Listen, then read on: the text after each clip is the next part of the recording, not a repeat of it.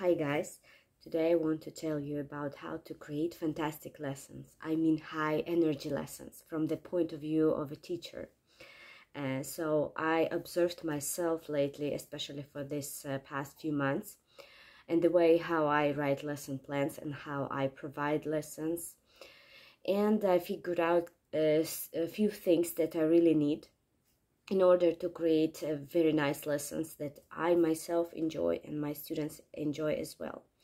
So one important thing um, is that I need freedom for inspiration.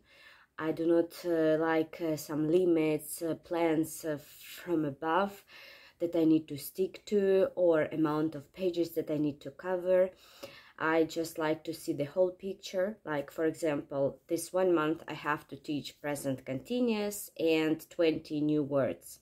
So I take this main topic and I teach it in different ways using different games and activities and the same way I do with uh, words, with vocabulary. I use board games to teach them but I don't go, you know, like for, uh, from the book, from exercise to exercise, uh, page by page. I do not like such uh, limits. So for a teacher, to my uh, point of view, it's important to have this freedom when you can just uh, create, when you can uh, use your imagination for your lessons.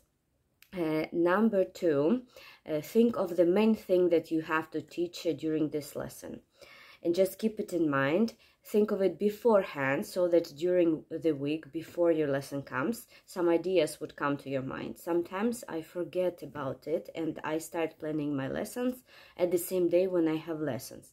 And then i feel stressed and uh, ideas don't come easily. And uh, so i have learned that i know that for example this uh, week i have uh, this topic and I just do my daily routine and sometimes uh, some ideas come to my mind and I make uh, quick notes what I want to do.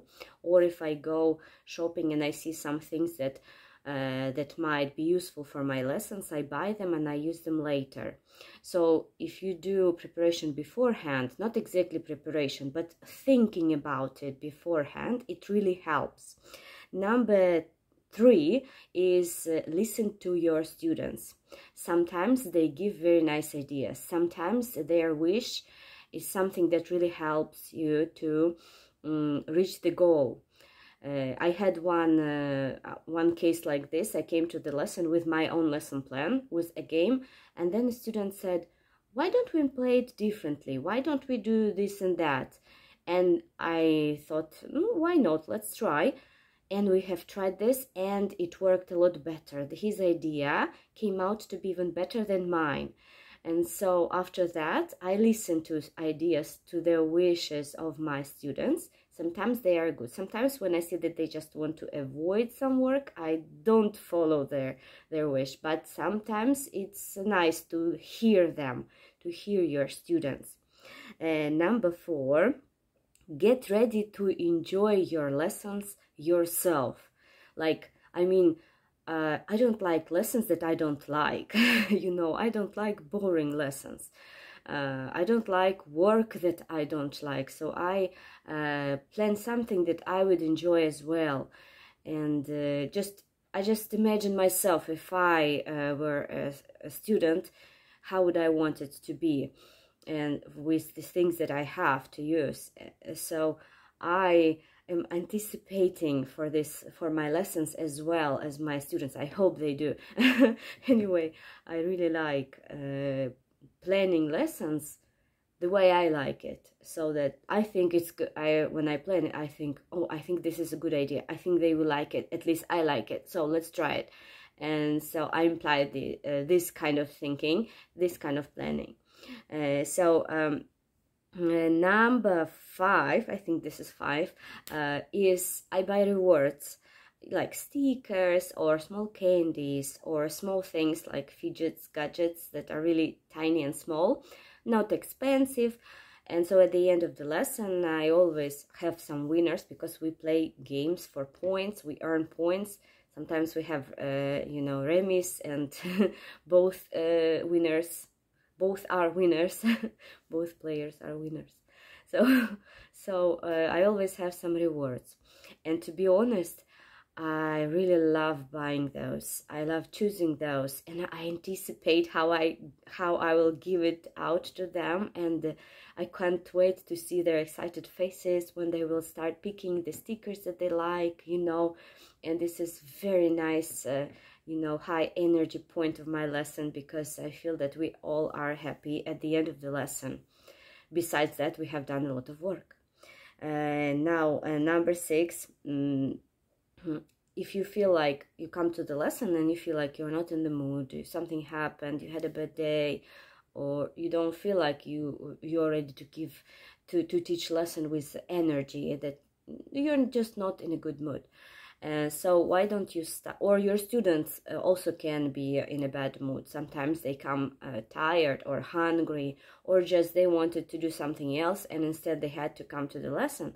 Uh, so in such cases, when I see that something is wrong, I'm, I'm like, I start my lesson with a game.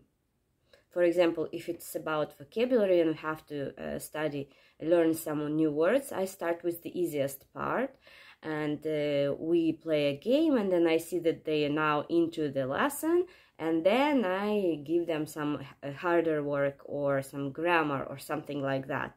So if you feel like like they are not ready you know for the tough part of the lesson just give them a game yes so be flexible I, I tell this all to uh, students private teachers uh, even for teachers in uh, private schools uh, who are able to imply all of these ideas. But i think even if you are a uh, public school teacher some of these can also can be useful for you. I hope so because i know that uh, teaching in a public school is very hard especially because there are a lot of students uh, in the class I personally can't handle it. I have maximum four. Six is like super, uh, super a lot for me. Uh, so I know, uh, I know how you feel. But anyway, I really wish all teachers uh, to have the power and energy to teach the lessons and to enjoy the lessons and to teach uh, your students, you know, to like learning and studying, you know, to, to, to develop that curiosity for life. Okay so this is my goal for this uh, video today. I hope it was useful for you. Uh, these points are uh, super use were super useful for me and uh, just uh, feel free to use it uh, to try it and if it works i'm i'm very happy for you. So see you in my next videos hope you like my shorts i i make them during my lessons so they are not very good quality but anyway i really want to share it because I don't really have time for special setting and extra time of shooting. Anyway, see you later. Have a good day and pa.